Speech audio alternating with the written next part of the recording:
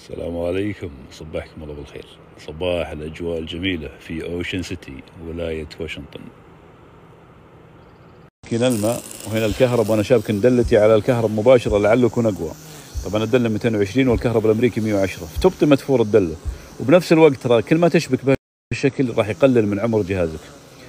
فالأفضل الله يا سلام. فارت الدلة.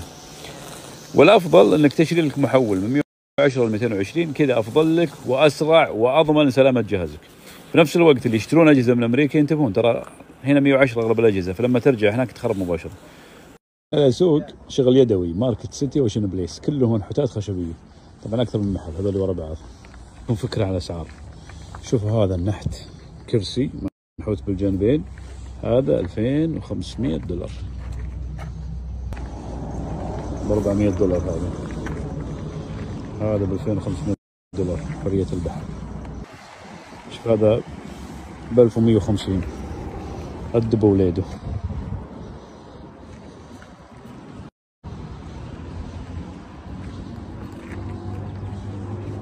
ألف وثمانمية. ضخم مرة طويل. نحتين عليه الناس هذا بأربعة آلاف دولار. هذا أحلى صراحة. هذا بخمسة آلاف وخمسمية نسرين ذا يجي مجاني في بوم ثاني صغير. وهذا شلون ضخم؟ هذا ب 7500 دولار. شوف دقة النحت؟ عجيب. هذا ب 4000 دولار. النحت. حتى لهاته المحل هنا يقول إن عندي 39 شخص يشتغل معي. كلهم من الديره هذه. وكل واحد يكتب اسمه مثل هذا توم. اللي مسوي هذه توم. لما تجي تكاسره على شيء معين يقول لازم ارجع لصاحب الحرفة.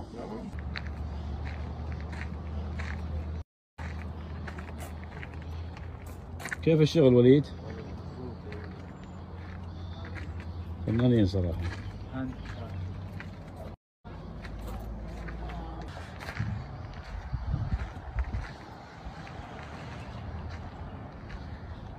هنا هذه أدوات الاشتراك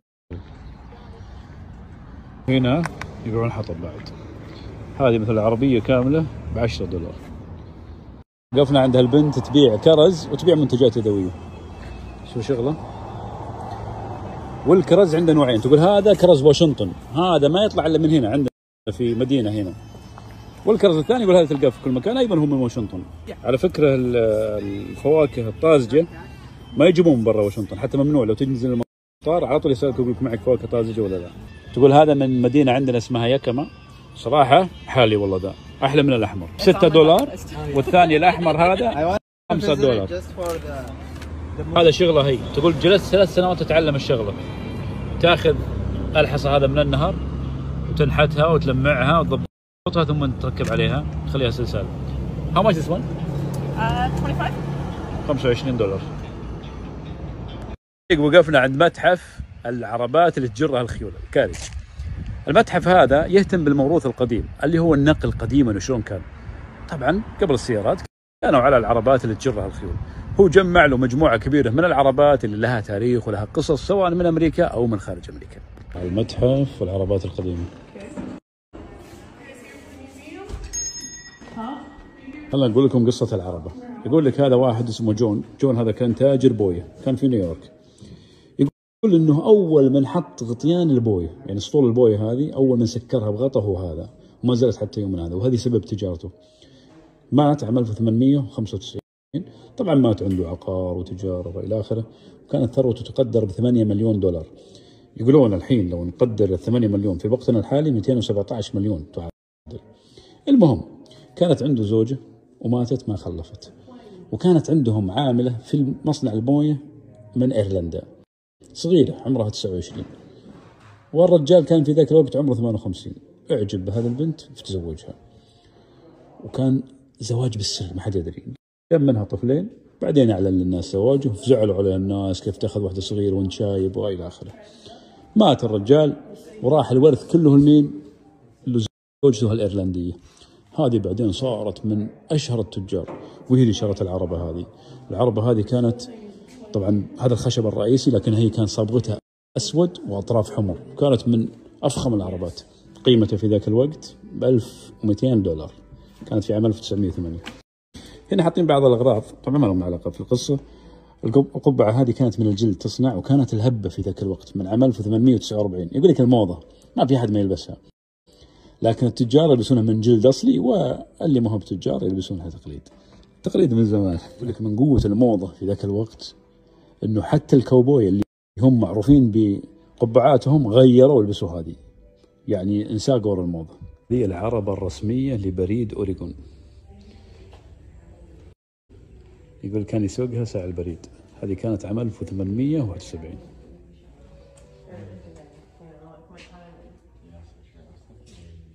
العربة الأنيقة هذه من كيمبال. هذه شركة كانت تصنع من عام 1634 إلى عام 1929 هذه العربات الأنيقة. وأول ما بدأوا بالسيارات أيضا صنعوا. شوف شلون فخمة. وكانت تستخدم في بريطانيا. هذه كانت للنزهة. شلون تجي مفتوحة؟ هذه كانت تستخدم في أيام الثلج. يستخدمونها الأغنياء ويمشون فيها بالحدائق. كانت ثلوج في يمشون في الحدائق على هذه العربات. هذه بعد حق الثلج. هذه كانت في ويسكونسن عام 1890 هذه تصنعت عام 1838 هذا واحد محامي من النخبة كان معه عربة قبل هذه ولا عجبته فقام وصنع عربة خاصة فيه.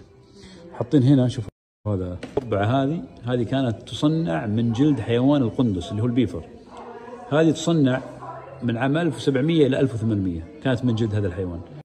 لكن بعدين عاد تغير. عندهم خمس عربات شاركت بأفلام مثل العربة هذه شاركت بهالفيلم.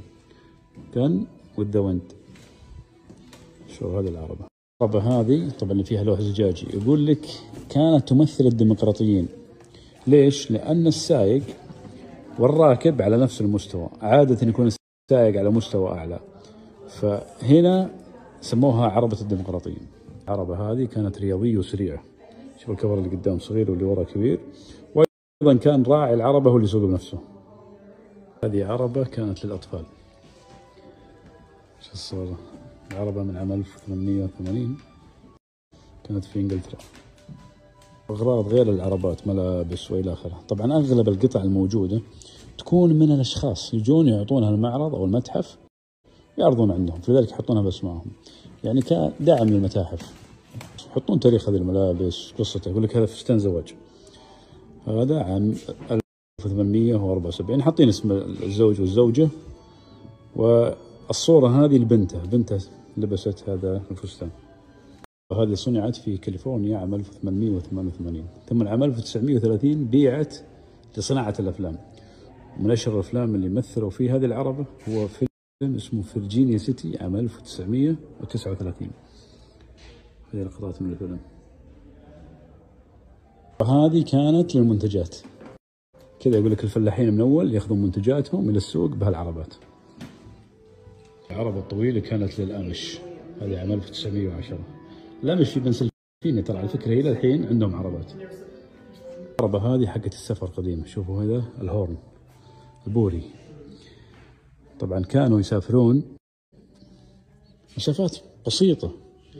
يعني ما كانوا يسافرون مسافات بعيدة. شو شو يقول لك هنا يقول لو بيسافر 30 miles إيش يحتاج؟ يقول يحتاج 30 خيل ويحتاج عشر رجال. ويحتاج يوقف خمس مرات ويحتاج عربتين مثل هذه وثلاث ساعات مشي. عشان يقطع بس 30 miles أما اليوم 30 miles قلت أخذها بنص ساعة جالون ونص من الغاز هذه واحدة من أكبر شركات إنتاج العربات في ذاك الوقت. يقول بدوا على عمال المناجم المزارعين إلى آخره. ثم وصلوا مرحلة إنهم ينتجون 100 عربة في اليوم. كانت شركة قوية جدا. تخيل وش هذه؟ هذه عام 1890 صنعوها. هذه كانت زي الجراف أو الشيول اللي يمهد الطرق اللي يكشط الطريق وينظفه سواء للعربات أو حتى لسكك الحديد. هذه رفيعة مرة. ليش رافعينها؟ فيها مواصفات شوف السست هذه. عشان لو ضرب مطر ما يأثر على الركاب. هذه كانت عربة صيد. كانوا يطردون ورا الصيد ورافعينها عشان العشب والإحجار وإلى آخره. نجي إلى هذه هذه كانت عربة تستخدم لنقل الأخشاب وتستخدم نقل الأغراض بشكل عام. شوف هنا على صوت شلون نقل الخشب هذه عربة الراعي. هذه من عام 1860 إلى عام 1900 طبعا العربة هذه كان يركب هنا اللي هو الأعلاف وحتى هو لبسه وأكله الخاص وكان يسوق الأغنام. يقول لك كان يصل إلى 1200 راس معه. يمشي بهالعربة ويمشي ورا العربة فيها زي المستودع له عزبته أغراض وأغراض الطبخ وإلى آخره. وفيها الطاولة هذه. شوف شلون شكله؟ يرتب أموره. دب البني. هذا يعيش في المناطق هذه اللي إحنا فيها. شوف هذه عشان ينعم الخشب. اللي هي الأدوات اللي تنعم الخشب. السيكل هذا من عام 1894 سيكل قديم. تبون الجلس شغال من 1894 العربة كانت للأموات فقط. شوف شلون كان الميت يحطونه هنا ينقلونه. هذه بدأت في النمسا عام 1900 هذه عربة نقل الأموات شوف التابوت شو العربة؟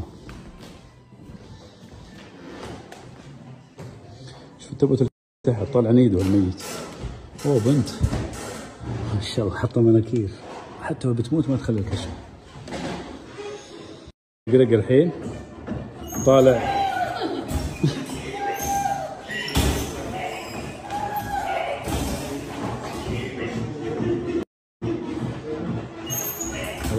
هذا تفاعلي ممكن تجرب.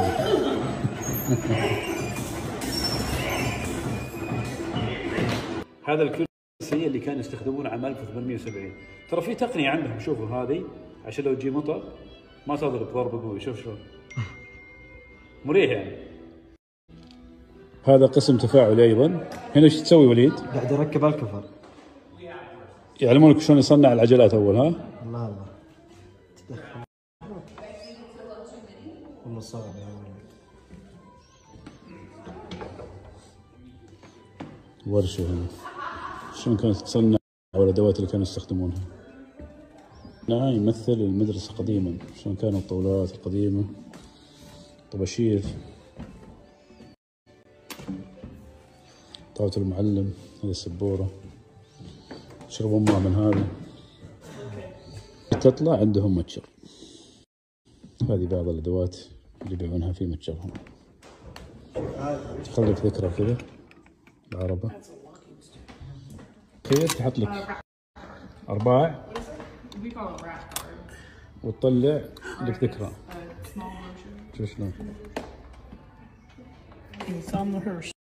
إيه وأنت شوف لازم توجهها بعدين تبدأ. أوكي.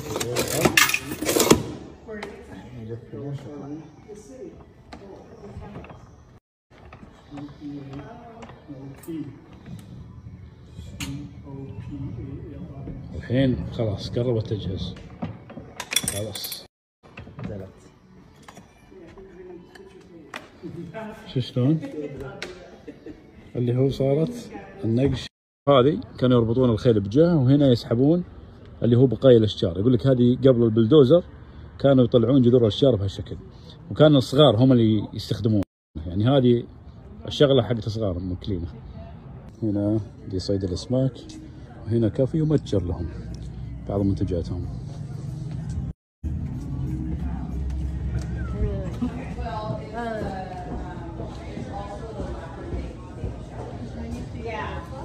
الكوفي وهذه جلسة صراحة جلسة رهيبة. جلسة كلاسيكية. شو التلفزيون القديم والأدوات القديمة. وقت الغداء. الغداء كسدية.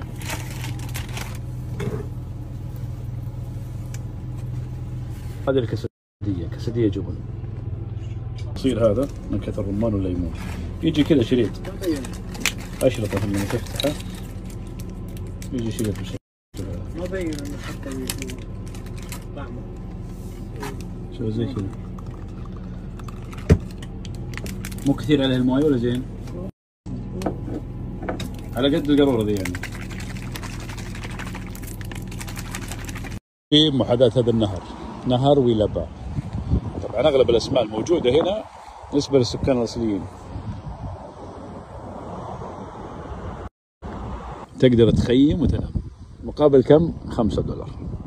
يقول في صندوق هناك بالخلف حط الخمسة دولار إذا نمت هنا الخيمة هنا خرافي صراحة. جنبك هذا مجرى ماء هذا المجرى ذاك النهر. هذا المنظر عندك. الصندوق اللي تحط فيه 5 دولار تاخذ ظرف حط ال 5 دولار وداخل الصندوق. برضو في أسعار ثانية إذا معك لانش 5 دولار اللانش الصغير. يقول لك إذا أكبر من 23 قدم يكون سعره 15 دولار. وهنا الإشكال. تنزل بسيارتك من هنا ونزل قاربك تتمشى بالنهر. شوف الطبيعه اللي نمشي به؟ هذه كلها غزلان ترى. بس الصيد ممنوع على فكرة يعني. المكان جميل لكنه مقفل الحين يقول الطريق منعدم ما ادري عاد عاصفة ولا شوف هنا أنواع الصقور. هو ممشي وسط الغابة وأنت ماشي تبي تشوف أنواع الطيور وبعض الحيوانات. عاد أنت حظك اللي تشوف. الصقور الموجودة عشاشه موجودة بالتالي بتشوفها بنسبة كبيرة يعني. هذا هو المكان اللي حاب إنه يزوره. هذا هو اسمه. ممكن تشوف بعض من الحيوانات الطيور. وتمشي بشكل عام. جميل. شوف أقول لكم؟ العشاش موجودة. زي كذا. وصلنا إلى لونج بيتش. طبعا مقرنا اليوم راح يكون في هذا المنتجع. مكان مخصص للكرفانات والتخييم. هنا هاللوحه وقف. روح سوي تشيكن بعدين يعطونك موقفك اللي توقف فيه. مكان كبير ومرتب أكثر من اللي كنا فيه أمس. تبارك الله. من زود الحماس عند وليد جاب هنا قبلها بليلة. حجزنا بكرة. لكن جميل إنه في حجز متاح اليوم ووليد عنده عضوية يعني عادي نقدر نحجز ندخل مجاني ما ما ندفع شيء. حتى لو نقعد اليوم وبكرة عادي. لك إلى 21 يوم متتالية. بعدها لازم تغير تروح مكان ثاني. خريطة المنتجع طبعا في مسبح ممكن تسبح أيضا. في شاور غسالة تغسل ملابسك. يعني خدمات كلها موجودة.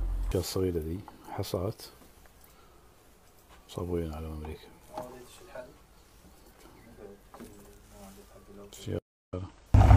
الله. اليوم بنفرغ ونعبي ماء ونقف بأي مكان عادي. معطينا مساحة كذا توقف به لكن بدون كهرباء. يعني ما هو موقف رسمي. وبكرة إن شاء الله يكون لك موقف. دقوا علينا وقالوا في واحد ما جاء. فخللنا هالموقع يا سلام. طبعا جنبنا عوائل هنا. الفقرة المسائية قهوة العمدة. كل يوم على المغربية ناخذ قهوة عماد. صراحة شغل. اليوم رسمة جديدة فنان عشان اليوم الدق شغل أمريكي. شغل أمريكي. وش بتحط الحين؟ هذا مخلل يسمونه رابش. وش اللي حطيت طيب؟ حطيت خردل. أيوه. حطيت آه، شو اسمه كاتشب. أنت بكيفك؟ عاد اللي تحب وصباحنا كل يوم ما عدا دقدق كل يوم طبخة كل يوم شغل. سلام. ماسك المطبخ ما يخلي أحد يشتغل. أيوه. أيوه ودينا ليه؟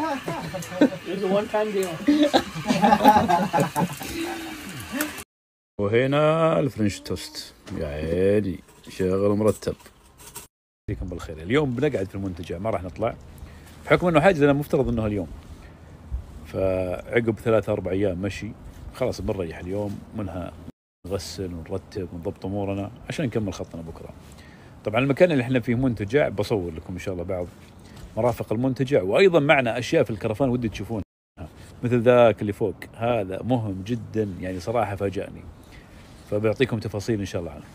أيضا جنبنا مباشرة هنا شاطئ من أجمل الشواطئ الموجودة في واشنطن. إحنا في لونج بيتش هذه تعتبر آخر جزء في واشنطن جنب ولاية أوريغون. واشنطن جميلة والمدخل على ولاية أجمل منها بالنسبة لي اللي هي أوريغون إن شاء الله الأيام القادمة.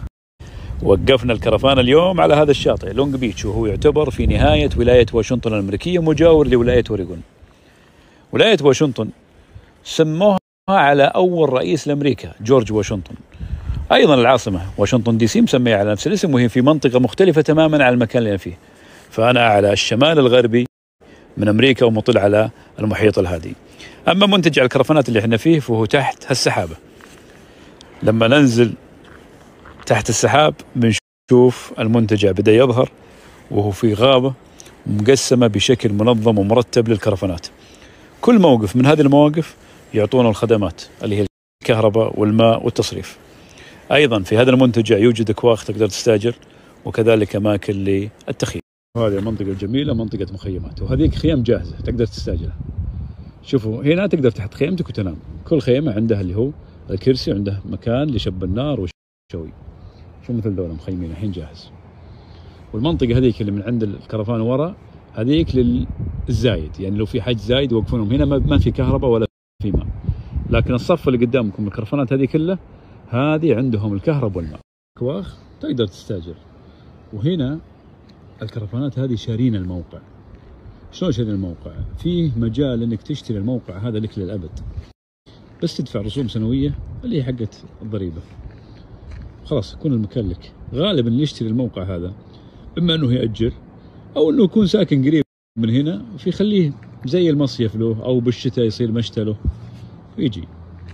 فيه المسبح والمميز في المسبح إنهم حاطين هيتر يعني المدافي بحكم ان الجو بارد علينا الحين. بالنسبة للتمشية والجلسات في المنتجع أي مكان تبي تجلس فيه تتمشى فيه متاح لك. وهنا عزكم الله دورة مياه وفيه مغسلة مغسلة ملابس. يعني بتغسل ملابسك بس مو مجاني ب 2 دولار تشغل الغسالة وبدولار ونص تشغل النشاف الكوي مجاني. ولكن عندهم تطبيق بوريكم إياه الحين. الغسيل بدولارين شوف ب 2 دولار. لكن عندهم application إذا حملت ال application يعطيك 5 دولار مجانا. يعني يمديك تغسل مرة وتنشف النشاف بدولار ونص. برضه تقدر تستخدم ال application. إذا ما معك application تستخدم البطاقه موجود حتى الواي فاي فيه هنا. أمس شريت البوب كورن ذا بالكراميل وشافه دادا قرق وزعل علي. قال لي ليش تشريه؟ أنا أصلح لك أحلى منه. قلت نشوف اليوم. الله عليه. طبعا يحب الطبخ بشكل ما تخيلون. وفنان بجميع أنواع الطبخات. حتى الحلويات.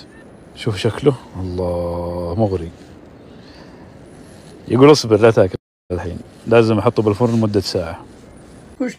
يحطه بالفرن مدة ساعة بعد الكراميل. وكل ربع ساعة يطلع ويقلب ويرجع مرة ثانية. واو. شغل مرتب.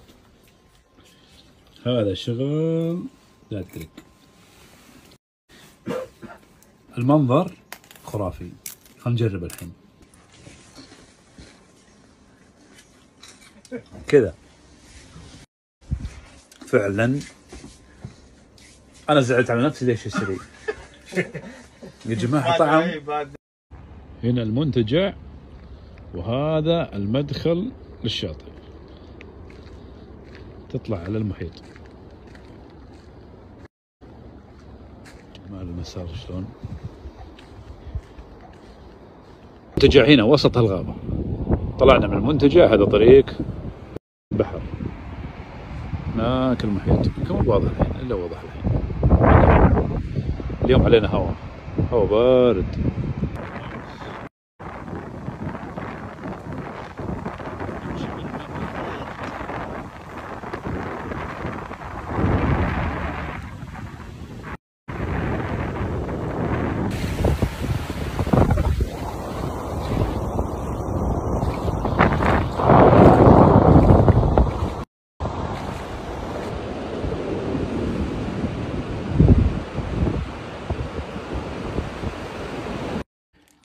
This is a loaf of bread. See the shape?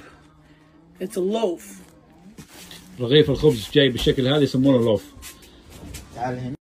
لا هو This is a loaf of meat. يا سلام.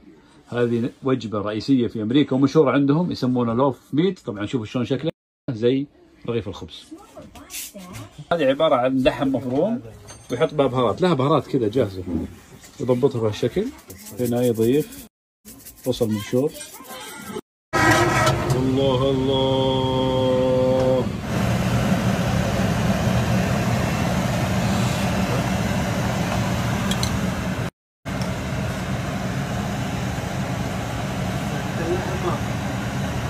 Enough. واجد لا. لا لا لا Enough.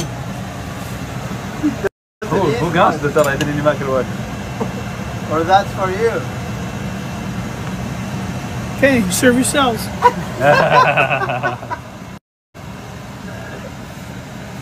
هذه هي الـ meatloaf. طبعا تقدم بالشكل هذا مع البطاطس مهروسه مع Oh, هذا Dr Pepper. هذا منافس الكولا والبيبسي. هذا من وين؟ من تكساس من ولاية الرجال. عرفنا عليه صراحة لذيذ. الكيبل وصل. طيب إيش بنسوي؟ ناظر. الحين ناخذ الدش. هذا اللي عليه العلم. تعرفون هذا إيش؟ خلنا أقول لكم تفاصيل هذا الجهاز الخطير. تعرف إيش معنى خطير؟ خطير. وليد هلا. وش في الجهاز؟ إيش رأيك؟ أنا منبهر منه. هذا إنترنت. يشتغل بأي مكان. يا جماعة إنترنت على الأقمار الصناعية. ما لك أي علاقة في الأبراج. مو هنا المفاجأة. المفاجأة سرعة. الإنترنت. شيء خرافي. خلنا نشبك اوريكم السرعة.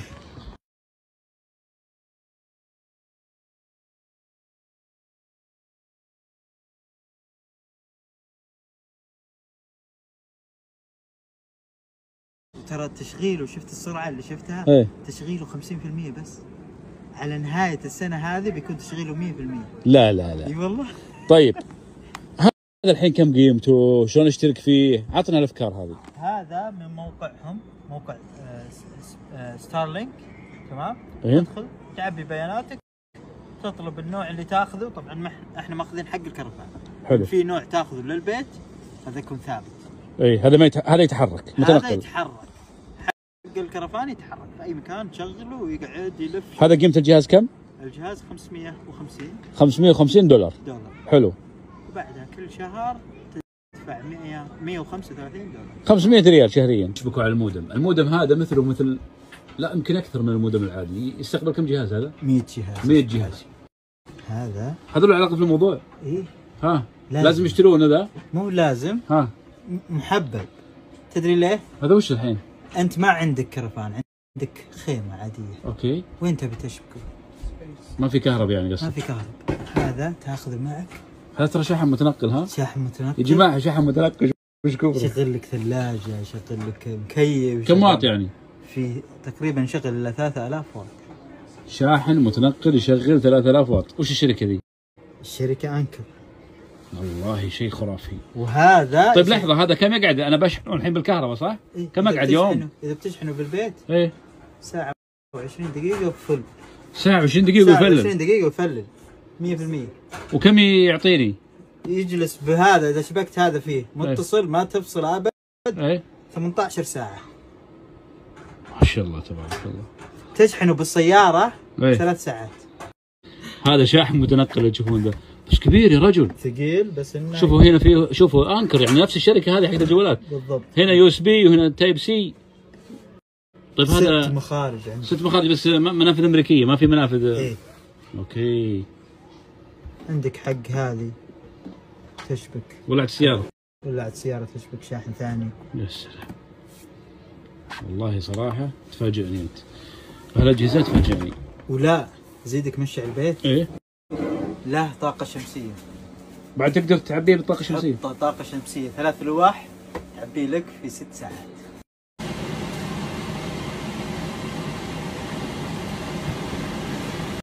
أنا قومت وليد من النوم عشان أسأله. أول شيء عليكم السلام. وليد. يقولون الانترنت هذا يشتغل عندنا بالخليج ولا لا؟ شوف هذا موقع ستارلينك موقع الشركة نفسها. إيه. حاليا متوفر في أمريكا. جزء من كندا والمكسيك. إيه. اجزاء من أوروبا. حلو. طبعا هذا اللون معناته متوفر الحين صح؟ بالضبط. اللون الفاتح مرة متوفر. حلو. الأزرق ال- الفاتح شوي هذا قريباً. قريبا. حتى تشوف أجزاء من أمريكا نفسها. إيه.